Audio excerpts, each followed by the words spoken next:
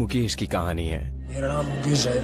मैंने सिर्फ़ एक साल बुक का चबाया अब मुझे कैंसर हुआ है। अब मेरा ऑपरेशन वाला है।